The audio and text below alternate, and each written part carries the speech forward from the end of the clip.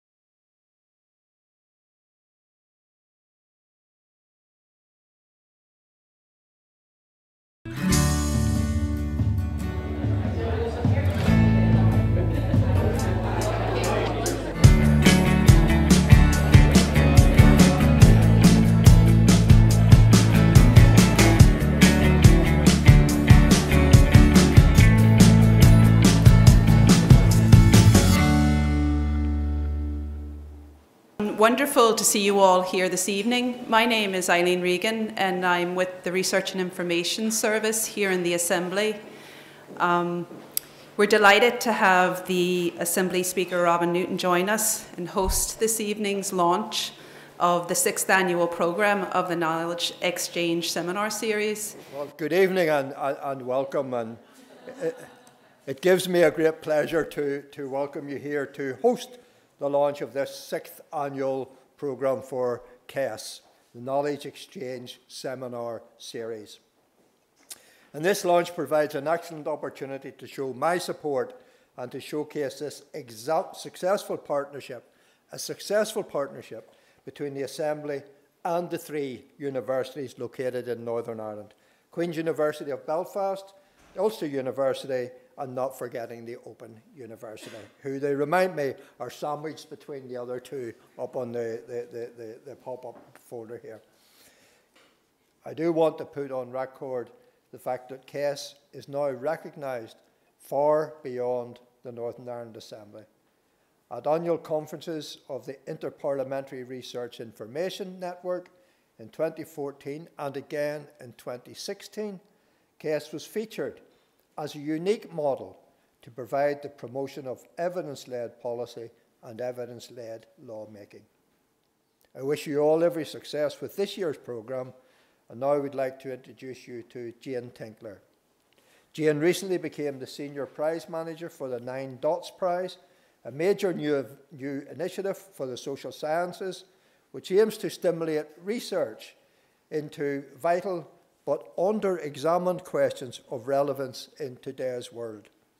This new endeavour follows the conclusion of her secondment as a senior advisor uh, in the social sciences in the UK Parliamentary Office of Science and Technology with the acronym POST.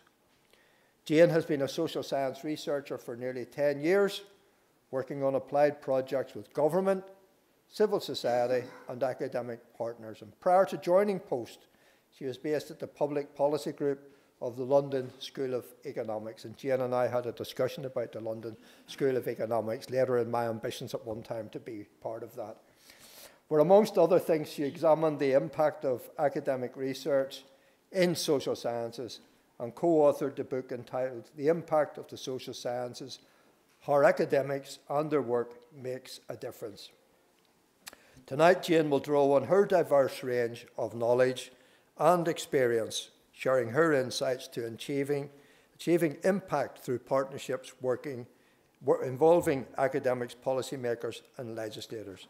Jane, we look forward to hearing what you have to say, and can I ask you all to, in the usual manner, thank Jane as she comes to the podium. Thank you.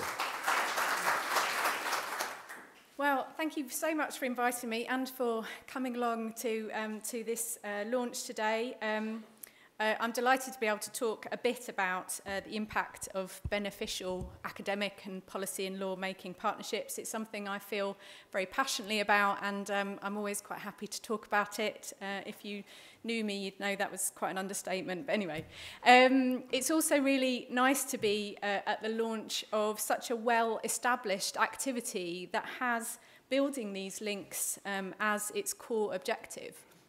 So the aims of the seminar series are to develop understanding and awareness, as well as encourage um, debate and engagement between and all, all those who attend.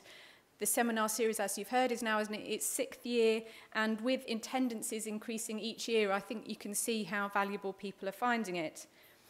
So, for some of what I'm going to say, I think, I hope that I might be preaching to the converted uh, in this room, um, but it's always useful to look at um, why you're doing impact kind of activities in the first place and reconfirm your commitment to them. It takes time, skills, and resources to try and create impact, to try and build partnerships. So, you need to be sure why you're doing the things that you are doing. So I'm going to be briefly talking about some findings from research that colleagues and I at the London School of Economics did on how academic research, especially in the social sciences, has impact and the type of impacts that it has. We called the project The Impact of the Social Sciences, and we have, as you might expect, and you've just heard, we wrote a book about it. Um, but we also uh, created an academic blog uh, called the LSE Impact Blog, as our way of trying to put some um, of our learning about how um, you can use social media to build relationships to affect. Um, so let's start by thinking about how impact happens. When we started research on this, we found that generally the models of impact seemed very linear they seemed more suited to work in the sciences, where, for example, a drug is created, people take that drug, they get better, and therefore there's a benefit at the end of it. We know from um, um, our work that impact um, from research in humanities and social sciences just really doesn't happen in that way. It's much more cumulative and incremental. We also know that academics are not the only actors in society who produce and mediate research. There's a huge amount done by individuals and organisations in government, in business, in the third sector and in the media to create research. And work is constantly picked up by these actors, used, improved, modified and churned back into what we saw as being an existing stock or inventory of knowledge. So this stock or inventory of knowledge um, includes knowledge that's in use, but also knowledge that is not currently being in used. And I imagine this as sort of forgotten knowledge sitting on dusty shelves in university libraries. Knowledge also comes in different um, types. There's ordinary knowledge, the type that is experienced that we learn by doing. There's applied knowledge and research, the type that I tend to do, often working with partners to co-create and co-produce applied research. And then there's very theoretical and abstract knowledge that tends to look beyond immediate problems and immediate solutions. So what we're trying to do when we're um, seeking to create impact is three things. We're trying to increase the churn of knowledge in this um, inventory so that more of the quality research is recognised and used. But we also want to help reduce the time it takes for research to be produced in universities or other places um, and for it to get out to be used to be publicly accessible by those who it might be useful for. And finally, we want to take more of that theoretical and abstract knowledge and take, move it across so that it's able to be applied to real world um, situations where it can have impact. Now, there are a number of ways that this can happen, but there are also some real barriers um, that make this process more difficult.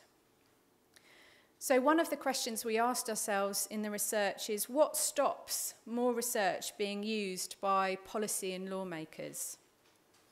We did about 150 interviews as part of our research and we asked both academics and policymakers this question and they gave us two key responses. The first one, people held up their hands and said, we're just too different, academics and policymakers. We speak different languages, we have different goals, we focus on different time horizons, and we look at problems from different perspectives. The second key response was, We are just working to two different deadlines. Um, a quote from a senior government official was, The biggest difference is that policy has to be decided in the here and now, and we have to do it on the basis of whatever evidence there is available. Whereas some academics can take 10, 20 years to produce a piece of work, um, they just have much longer in terms of deadlines to be able to complete something. We also often don't have the same idea of what evidence is. in the slide pack, there's a slightly tongue-in-cheek typology um, of evidence as policymakers see it from the former Deputy Chief Social Researcher Phil Davies. He lists expert evidence at number one at the top of the list, but by that he means consultants and think tanks, not academic uh, evidence. You then work down the list and you get media and internet evidence in the middle of the list, and research academic evidence is right at the bottom, just below the thoughts of cab drivers. But our research showed that the importance and value placed on creating excellent, accessible research by academics was just as high as the importance and value placed on using excellent, accessible research by policymakers and lawmakers. And the pressures and difficulties that both sides found are similar. Um, there's a lack of time and resources to build links. There's inflexibility within your own or the partner organisation to be able to grow partnerships. And a lack of awareness about the benefits of spending time on building these partnerships. So, not really being able to show the impact of all this time and resource that you're putting in. Now, these barriers are real, But am I downhearted? No, I am not.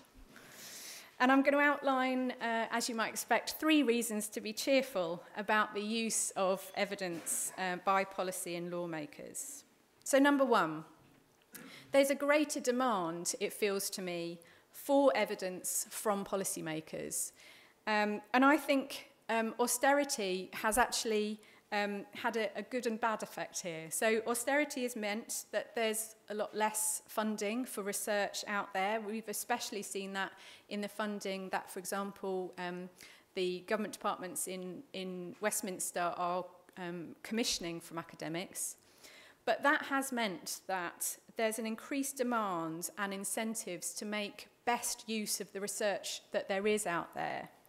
And I think the What Works network shows this commitment from government and academic communities to the systematic use of evidence across the public sector and making better use of the research that's available.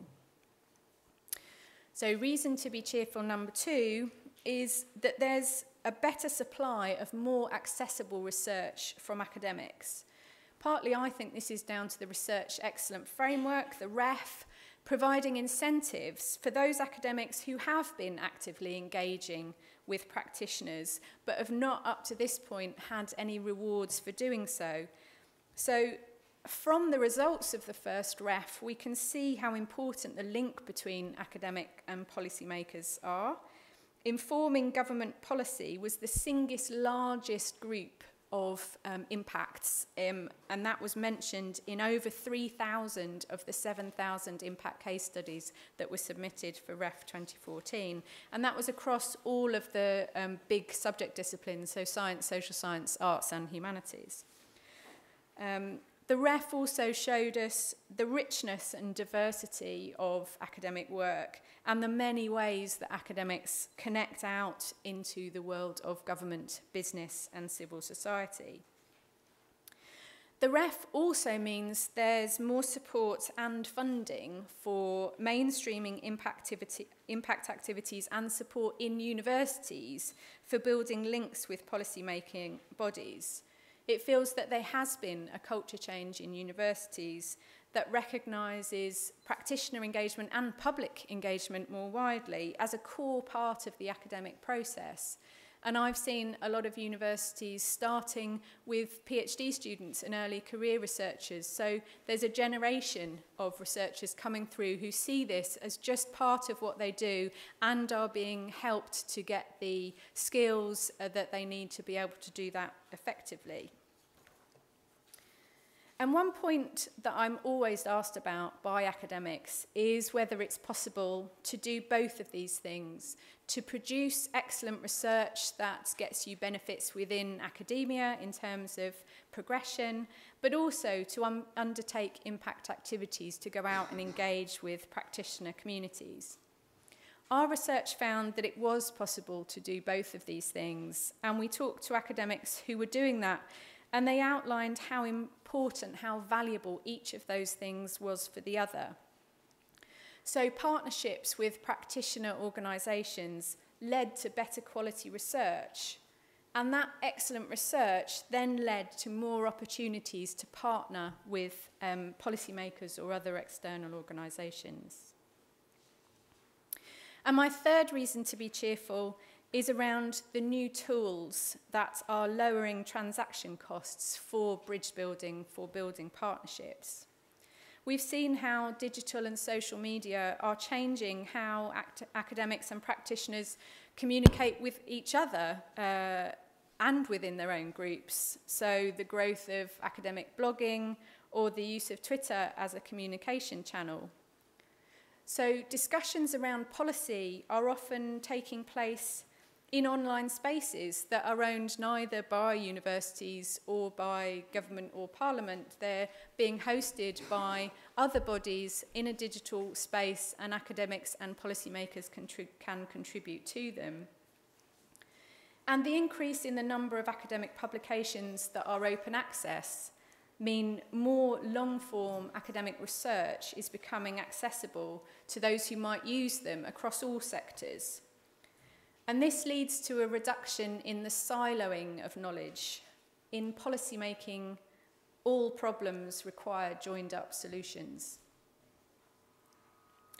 So, for effective engagement, relationships are key.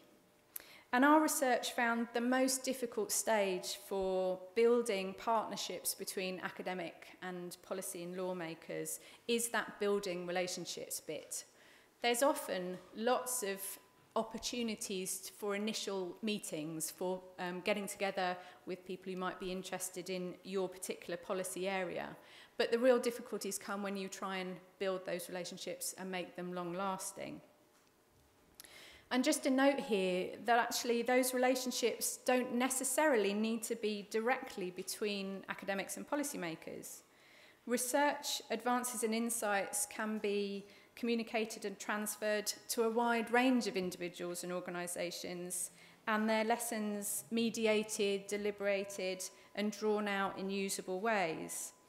And some of that work is done by those others than academics and policymakers themselves. There's an important role for translating or mediating bodies who link research with those who might be able to use it. And these types of organisations I'm talking about include think tanks, policy institutes, journalists in the media, libraries, societies and association and interest groups. And in our research, we called this the mediating middle, and we showed quite how important they were. Our research also found that there's a significantly bigger mediating middle for the sciences, um, doing that essential work of translating for outside audiences than in the social sciences. So we often talk to social science academics about the fact that they have to do some of that translating work themselves.